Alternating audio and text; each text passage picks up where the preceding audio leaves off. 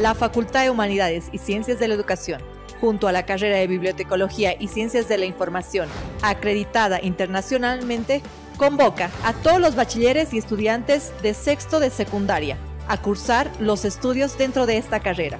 Inscripciones. Los esperamos en el segundo piso de la Casa Montes, Avenida 6 de agosto 2080, esquina Aspiazu.